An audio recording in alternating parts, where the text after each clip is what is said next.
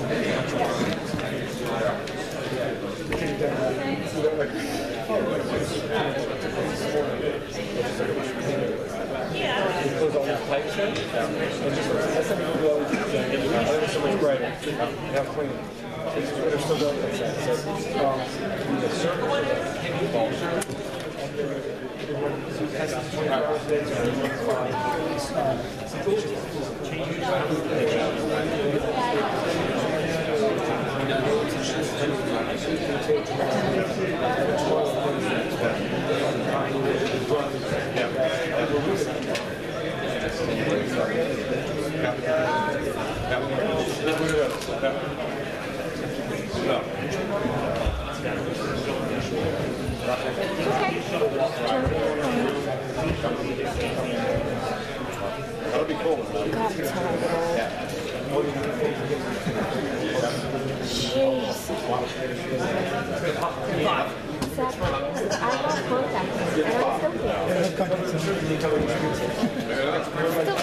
Yep.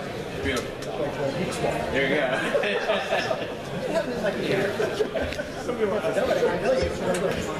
you.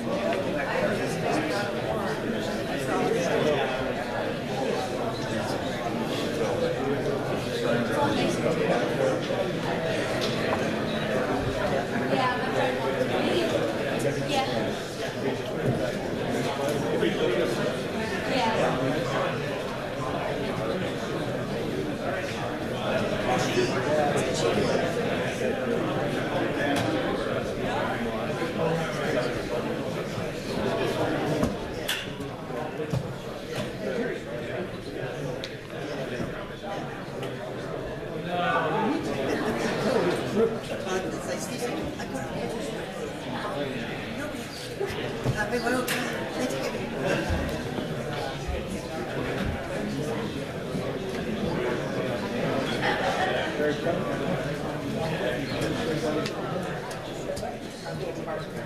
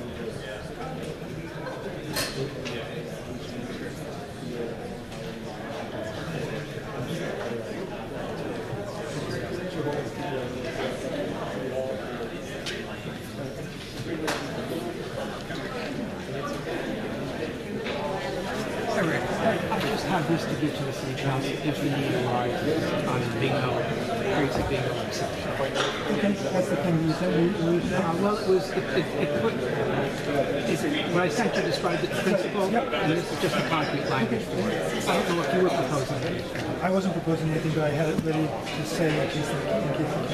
Okay. Is it gonna speak to public comment, or public hearing? Yeah, during the public meeting. Yeah. Okay, thanks.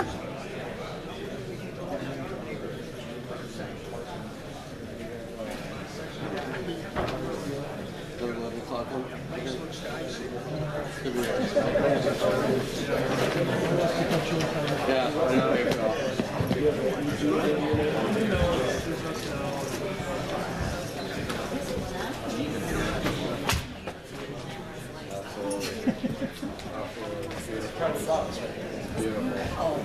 Never did anything like that.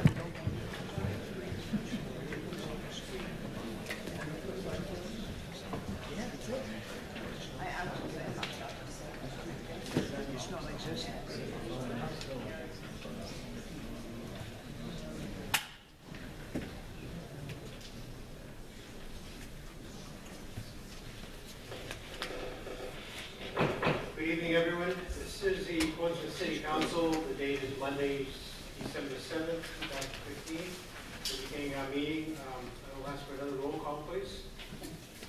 Mayor Lister, Here. Assistant Mayor Splaine, Here. Councilor Shannon. Here. Councilor Kennedy. Here. Councilor Lown. Here. Councilor Dwyer. Here. Councilor Morgan. Here. Councilor Spear. Here. Councilor Ford. Here. Thank you. I will ask um, John Lyons to lead us in the pledge of allegiance and the moment of silence. I would ask gentlemen to remove their caps, please. Pledge allegiance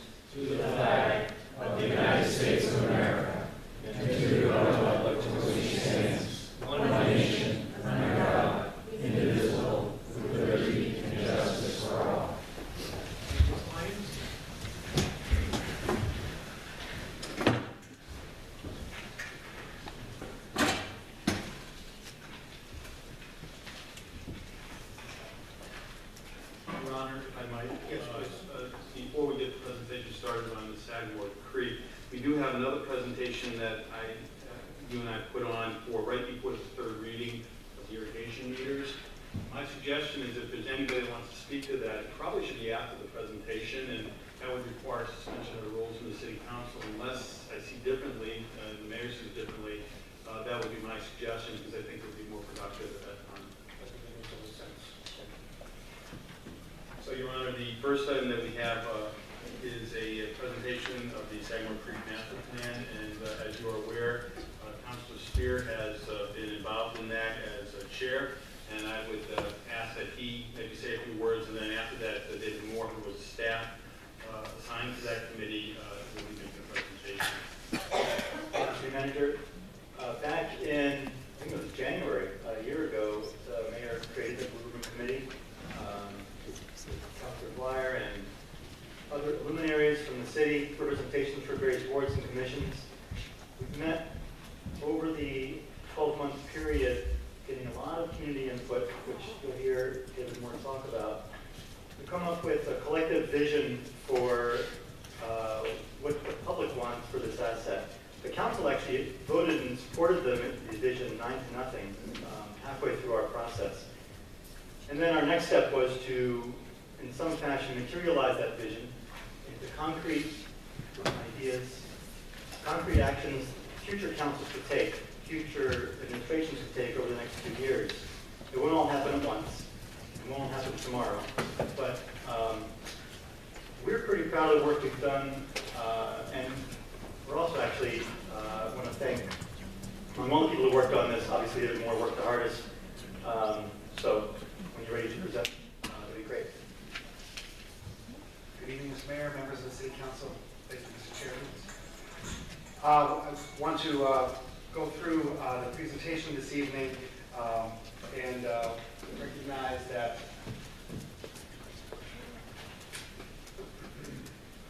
we uh, have a lot of material to cover. It has been, as the councilor said, a process that began in January and all of uh, January 2015. Uh, So tonight I'm going to go through the charge that was given back at that time, as well as provide a general orientation to the parcel. As the counselor alluded, we did that in June, but for members of the public present, I would like, I would suggest we do that again. I also reviewed that vision that was adopted at your June meeting, again, halfway through the committee's work. Uh, Then, because it was so extensive and robust, I want to review the process that the committee followed, as well as review all of the uh, high-quality public input that we received.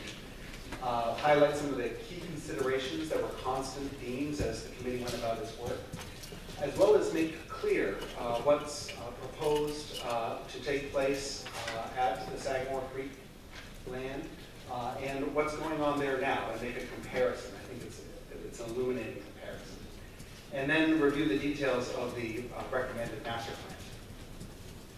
Uh, First, very briefly, uh, the charge was to create a plan for public usage of the city-owned Sagamore Creek land. It is a 66-acre parcel of land located along the Sagamore Creek, uh, city, owned by the city. We have representation, uh, as the council reviewed, by the city councilors, two of them.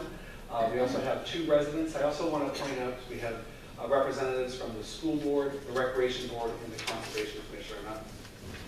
Conservation Commission. I've had the opportunity to serve in an ex officio capacity as the city manager's designee.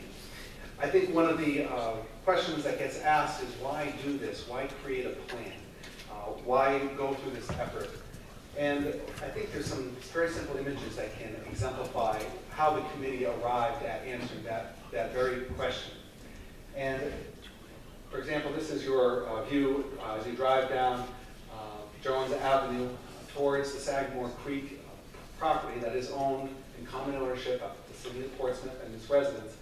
Uh, You proceed down the street and you can't quite tell, but right here is the uh, entry point, if you will, an access point for the uh, parcel. This is what you would see. Uh, No, no clear delineation that it's publicly owned, no invitation that it can be accessed for recreation purposes. Uh, It's, it's, it's just there with no signage or identifier. If you happen to know that the parcel was there and that the recreation asset was there, you would then be confronted with this site, which is the locked gate that is at the beginning of the parcel. This is, this is uh, how you would uh, approach the parcel. And then to get around that fence, you go around this path, which is not very clear, not very welcoming from those trees. That's one side of the fence. The other side of the fence is uh, through this through this mud into the sensitive vernal pool habitat that uh, fronts that area of the parcel. If you did get through all of that, you would get to this uh, open space, which is uh, blocked by a fence. I apologize if you can't see it well, but a chain link fence surrounds approximately 10 acres of this parcel. It is the former cap that was uh, for the Jones landfill that was closed and capped in the late 1980s. Uh, that is one of the largest unprogrammed open spaces available to the residents of Portsmouth in the entire city. 10 acres of open space, no trees, and it fronts on the Sagamore Creek. It's very beautiful. And that is the work that the committee has seen itself doing in trying to create a public plan for this parcel. The vision, uh, which was adopted by the council, uh, was used and instrumental in guiding the committee's work from that June date to tonight. And the vision was to, for the Sagamore Creek land is a unique and valuable community resource that should be conserved and made accessible to all in a balanced manner that promotes waterfront access, protection of invaluable natural features, and permits recreation opportunities that complement one another and which are sensitive to the overall vision of preserving the site's character. Very briefly, the orientation to the site. This is the 66-acre parcel right here, known as Sagamore Creek land. You can see it lies along Sagamore Creek. It's also adjacent to this large parcel, which is the Portsmouth High School complex. Route 1 runs alongside here. There's a housing development here known as Winchester Place, a housing development on the other side known as Tide Watch. And the access way through vehicle access is via Jones Avenue, which connects to Sagamore Avenue. And uh, that is the way it's commonly accessed by vehicle. Just a more of a, detailed shot of just the 56 acres, you can see more clearly that 10 acre capped landfill that I spoke of earlier, right in the middle of the site. Uh, you can also see what is an existing and well-used network of trails, both by members of our community, but also heavily used by our cross team.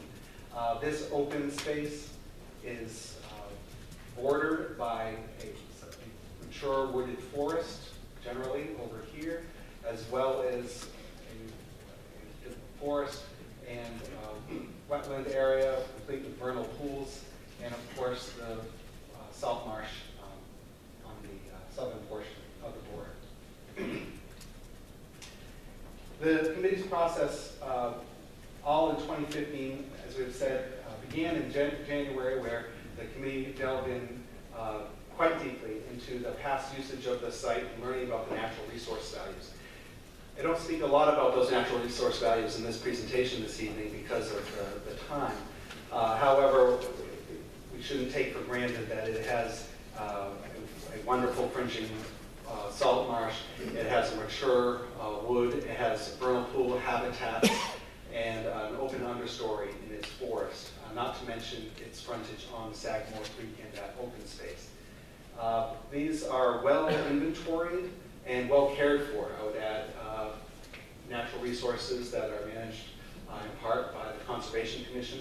Uh, Conservation Commission provided uh, a lot of the information that the committee relied on through its work over the years, through things like the Public Undeveloped Lands Assessment and wetlands inventory, as well as the vernal pools analysis. we also looked closely at the site's past use as a landfill and what that means for us today in Portsmouth in 2015, as well as what other reuses uh, have been done in New Hampshire of uh, similar land landfill uh, sites. Um, throughout, of course, we refer to the many studies, uh, including the master plan and other documents that have guided uh, past committees on the overall public's interest in open spaces and access to the waterfront. Uh, we also had a very successful uh, meeting with the school board, recreation board, sustainability committee, and conservation commission representatives, where everyone who has interaction with that parcel had an opportunity to talk about their current uses, as well as their aspirations for the parcel in the future. That led to a very well-attended uh, public input session where that draft vision, now adopted, and the guidelines were reviewed in depth with members of the public, over 30, over 20 members of the public speaking at that time. Um, that led to the June adoption. And from there on, August to November, the, council, the committee held uh, additional meetings, uh, formulate its uh, plan in front of you this evening, and also held a well-attended public input session in November on this draft report that's before you tonight and is recommended by the committee. Just to highlight the other opportunities for public input and participation, we heavily relied as a communication tool the city's website, this particular website established for the committee, where we posted the reports that were viewed by the committee, the upcoming meetings, links to the meeting minutes, uh, as well as past reports that were reviewed. There's also an opportunity here, a public web comment form, which I say later on here. We received over 33 very thoughtful, detailed comments from members of the public via that particular tool, in addition to the public input meeting in May um, and the public meeting in November. Uh, the